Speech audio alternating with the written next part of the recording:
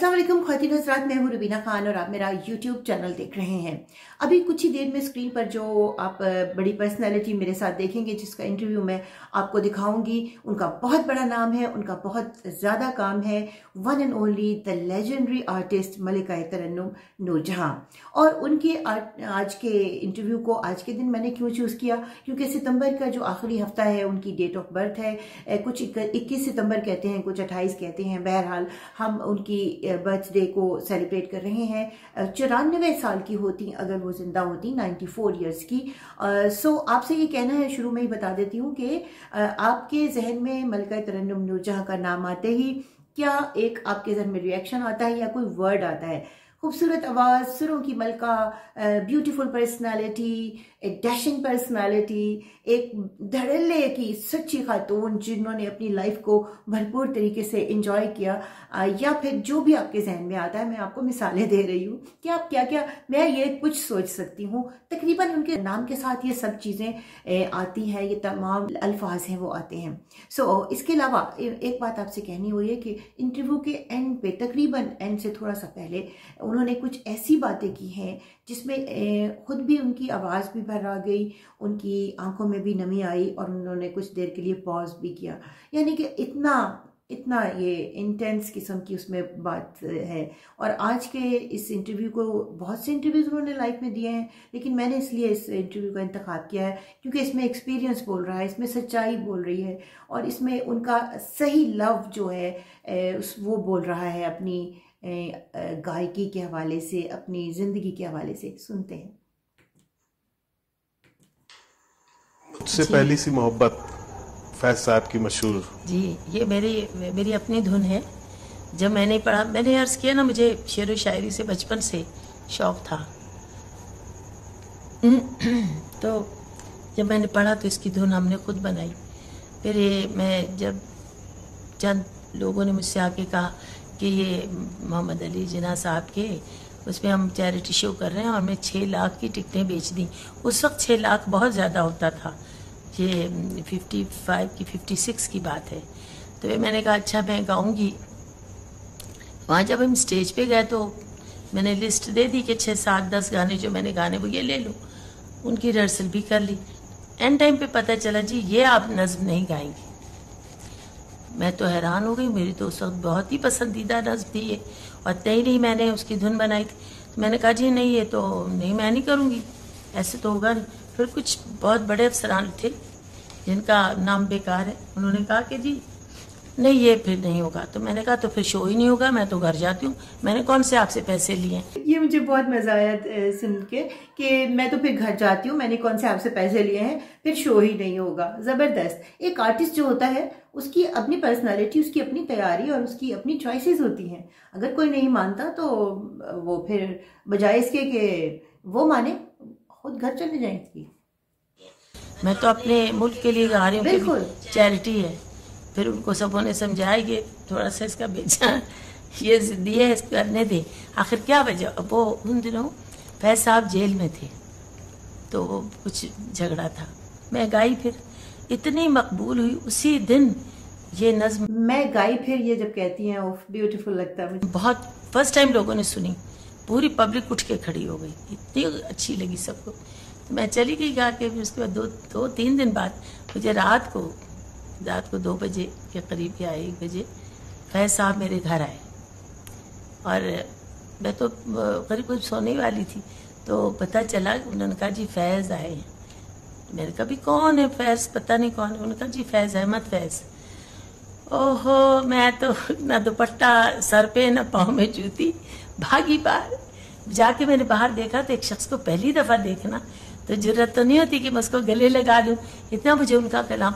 वैसे जहनी तौर पे उनके कलाम के तो हम आशक थे, हमने शक्ल तो देखी नहीं थी। तो वही कहती हूँ ना कि एक आर्टिस्ट के जहन में एक महल होता है, खूबसूरत, जिसमें कोई शहजादा होता है।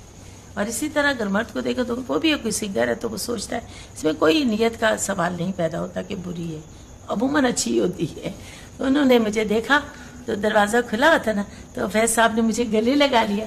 मैंने भी उन्हें गले लगाया तो मैंने उन्हें कहा कहा ये घर आइए। कहते भाई मैं आपसे सिर्फ़ शुक्रिया अदा करने आया क्या बात है? आप इतनी ऊँची हस्ती हैं जिन्होंने इतना मुकाबला करने की तुम्हें यानी हिम्मत है। कि आपने सबका मुकाबले करना था ना गवर्नमेंट का कि नहीं? जी मैं तो नहीं गाऊँगी। कुछ हो जाए मैं यही गाऊँगी। तो आपकी हिम्मत की दाद देता हूँ शुक्रिया करने उस दिन से फिर हम लोग बहुत करीब हुए, उनकी फैमिली में आना जाना, हर पार्टी में जाना। मगर फिर भी हम इतना न मिल सके, जैसे बाद में मैं इतनी मसरूफ़ हो गई अपनी ज़िंदगी में, और उसके बाद मेरी शादी हुई, एजाज दुरानी साहब से उस पर से बच्चे हुए और गाने भी, काम भी बहुत ज़्यादा बढ़ गया इंडस्ट्री में भी बहुत ज़्यादा तूफ़ान में, रोज़ के तीन तीन गाने। तो कुछ अब ये जब चले गए दुनिया से तो हमें बड़ा दुख है। हम अक्सर मैं उनका कलाम पढ़ के रो पड़ती हूँ कि कितनी बदनसीबी है कि हम कर सकते थे, मिल सकते थे। और अपने काश अब मैं कहती हूँ ज़िंदा होते, मैं गाने ही छोड़ देती। जब वो कहते हम बड़ी बड़ी महफिलें वो मिलते थे सब दोस्तों से। यहाँ पर एक बात कहनी है कि इंसान कितना कुछ अचीव कर लेता है, लेकिन फिर भी कुछ नासुदा ख्वाहिशात रह जाती हैं, कुछ ऐसी बातें हैं जो इंसान उस वक्त करना चाहता भी है लेकिन अपनी रोज़मर्रा ज़िंदगी के झंझटों में नहीं कर पाता। तो कितनी चीज़ें इंसान मिस भी करता है अपनी मसरूफ़ ज़िंदगी में। हम नहीं जा पाते। थे नहीं जा पाते। बस इसी तरह इंसान ज़िंदगी में बहुत भूल करता ही जाता है। वो कहते हैं ना याद माजी अजाब है यारब छीन ले मुझसे हाफजा मेरा। मुझे तो बहुत कलाम बहुत पसंद है। एक शेर मुझे और बहुत पसंद है कि वो बहुत मूड में लग रही हैं इस इंटरव्यू में। सुनते हैं शेर कौन सा पसंद वो परिंदा जिसे परवाज से फुर्सत ही न थी। ये कुछ बेवफा लोगों की कुछ बे, बेवफाई पे लोगों की याद आया। कि वो परिंदा जिसे परवाज से फुर्सत ही न थी। अब जो तन्हा है तो दीवार पे आ बैठा है। अब जाता ही नहीं। दीवार पे आके बैठा मुझे, मैंने कहा ना, मुझे बहुत पसंद है।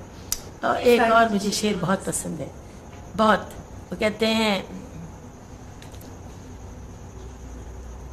तुम्हारे नाम से दुनिया मुझे पहचान लेती है।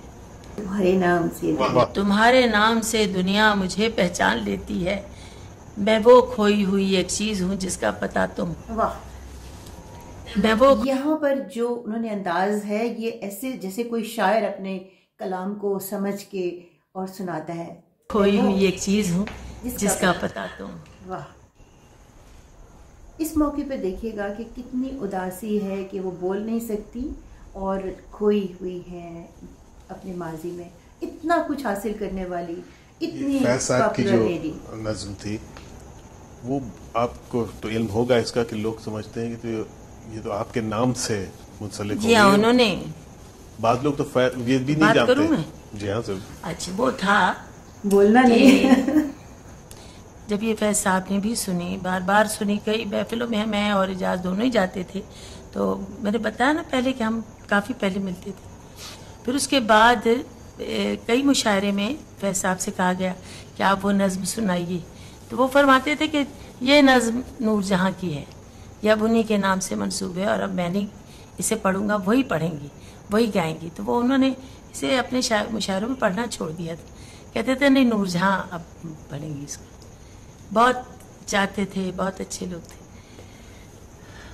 आपने उस आपने जो किस्सा सुना कि आपने मुकाबला किया कुछ लोगों के साथ इस न, इस नफ्ज के पढ़ने के लिए। जी हाँ। और कभी आपको कोई मुकाबले करना पड़े किसी इस...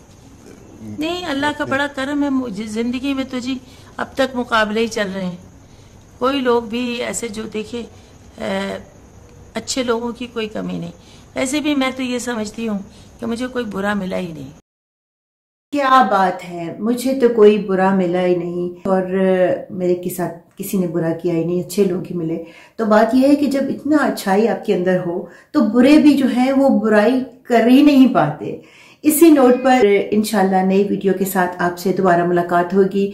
चैनल को लाइक एंड सब्सक्राइब कीजिएगा।